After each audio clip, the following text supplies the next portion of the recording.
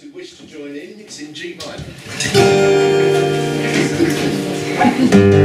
minor.